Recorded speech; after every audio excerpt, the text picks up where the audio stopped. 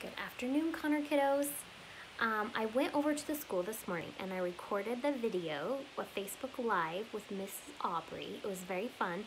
But when I got home, I was um, trying to save it to the file and it was so quiet. I couldn't hear anything. So I'm re-recording it plus because I have to say, and you have to hear this part, it's my dad's birthday today. So happy birthday to my dad. Come here, Kate. You want to say happy birthday to Gigi? Say hi to right at the camera. Say happy birthday, Gigi. I love you. Okay, so I wanted to reread this story. Plus, it's about a dog, and really, your dog should be in the presence of a story about a dog, right? Okay, Old Mother Hubbard. And I love this book because this book was written like in the 1800s, but then Tomie dePaola, remember I read you Now One Foot, Now the Other, the really sad story. And um, so he took this book and he drew the illustrations for it and it makes it really fun. But remember on the inside, there's little tiny pictures. She's, she's very involved today. Um, of different nursery rhymes that all um, have little pictures in them. Uh, we'll point them out at the end of the story to see if you can figure out which nursery rhyme it is just by looking at the pictures. Okay, are you going to be a part of this the whole time? Okay. Are you going to lick me the whole time? Here's the first picture. If Kate will move. Here you go. Old Mother Hubbard went to the cupboard to fetch her poor dog a bone, but when she got there, the cupboard was bare, and so the poor dog had none.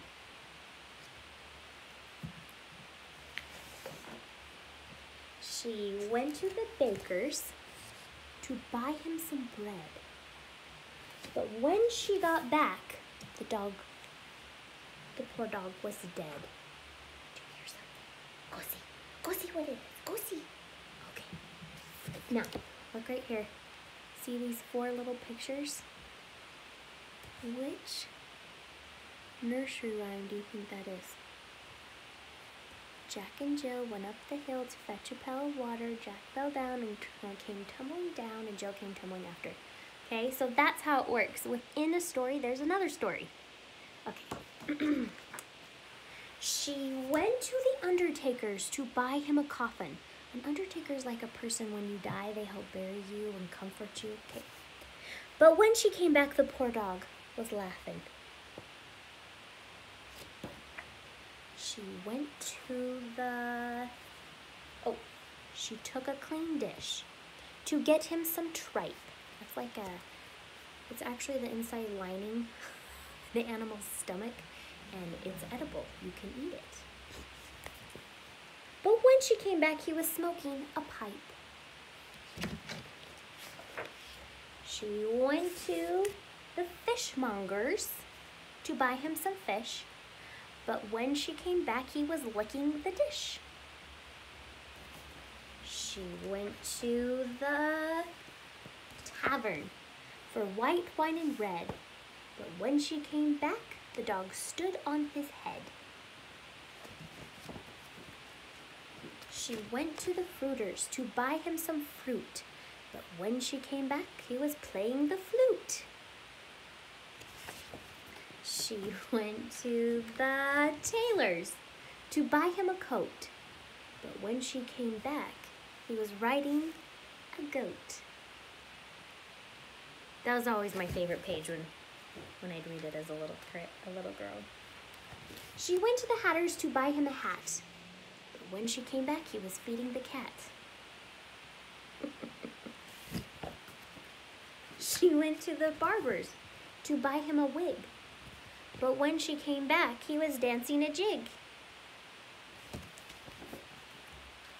She went to the cobbler's to buy him some shoes. But when she came back, he was reading the news. Do you know dogs have to wear glasses to read? She went to the seamstress to buy him some linen. But when she came back, the dog was a spinning. She went to the hosier's to buy him some hose, but when she came back, he was all dressed in his clothes. The dame made a curtsy, the dog made a bow. The dame said, Your servant. The dog said, Bow wow. Here's the last picture. So let's do, we'll go back super fast and see if you recognize every nursery room. We got Jack and Jill. What's this one? Little boy blue, come blow your horn. The sheep in the meadow, the cow in the corn. Okay, so little boy blue.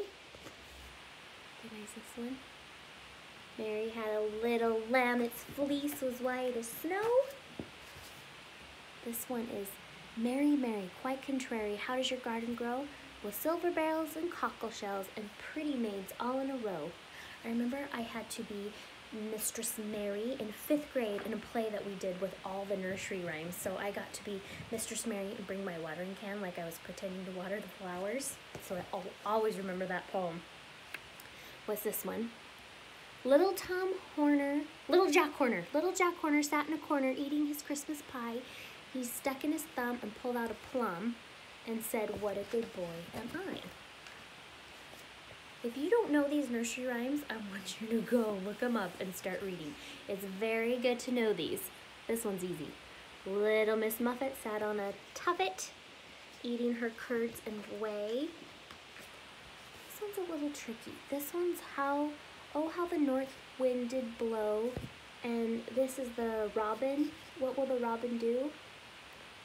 I don't really talk about that one very much. It's a good one we'll teach you. This one is a cat with a queen.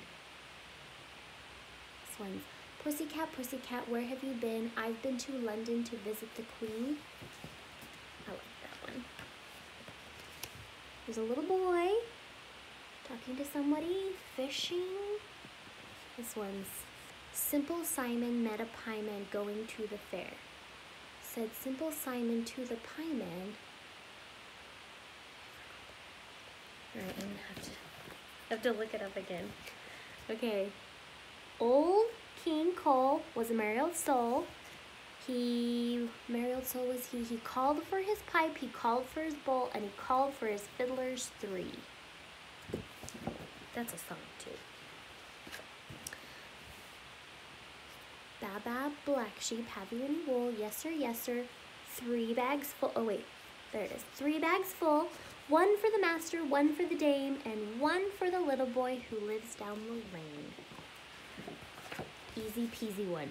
Hey diddle diddle, the cat and the fiddle, the cow jumped over the moon. The little dog laughed to see such sport, and the dish ran away with the spoon.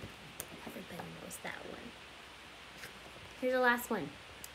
Wee Willie Winkie runs through the town, upstairs and downstairs in his nightgown, calling to all the children, rapping at the door. Are the children in the bed? For now it's 10 o'clock. I think that's how that one goes. It doesn't really rhyme at the end. But nursery rhymes, those are good to know. The reason why they teach you those when you're really little is because it helps you develop sentences and putting words together because rhyme is usually the easiest way for kids to learn words and context. And so that's why Mr. Eddie teases me all the time and he's like, oh no, here we go again with Mrs. Eddie and her rhyming like she's back in kindergarten. I still rhyme everything. He loves it.